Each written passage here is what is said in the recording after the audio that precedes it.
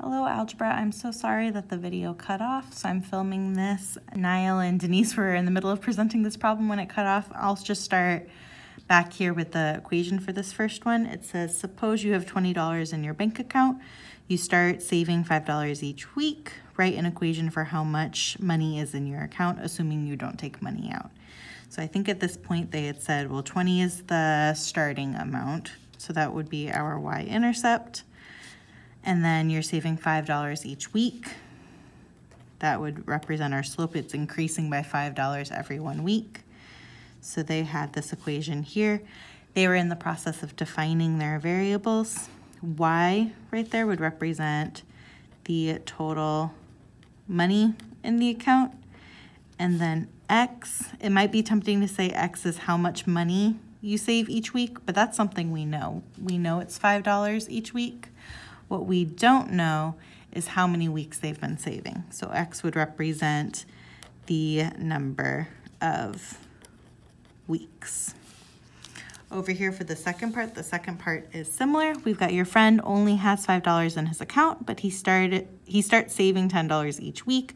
Write an equation for how much money he has in his account, assuming he doesn't withdraw any money. So similar to the first part, our y-intercept, that starting amount is $10. He's starting with $10 in his account, and he is adding five, oops. He's starting, I'm sorry, with $5 in his account, and he is saving $10 each week. $10 each week.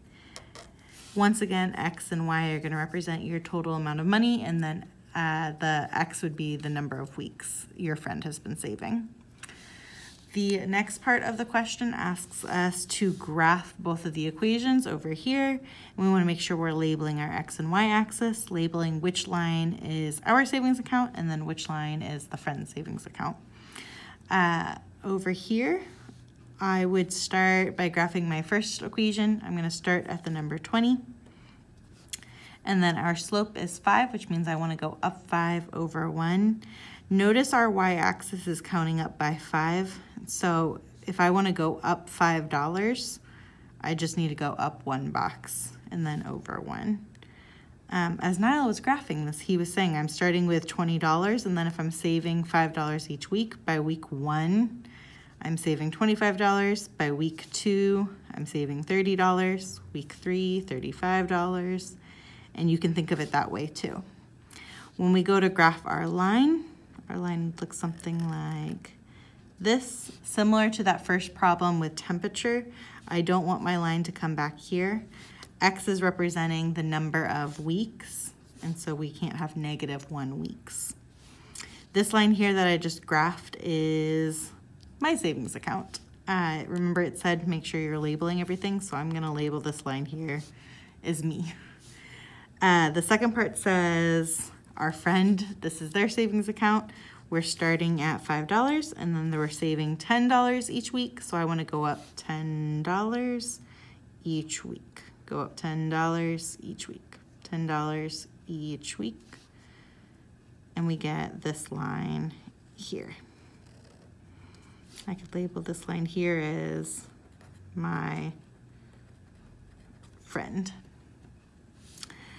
Uh, if I come back to the question, it says graph both equations. We did that. It says make sure you label your x and your y axis. I have not done that yet, but it's real easy if up here you've already defined your variables.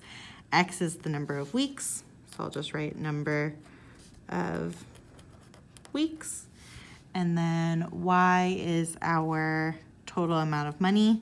So I could just label it as total money. I'm gonna write um, money in savings account. Count. Ooh. And label which line is our savings account and our friend's savings account, which we already did. The last part of this question asks, after how many weeks will you and your friend have the same amount of money in your account? How much money will each of you have?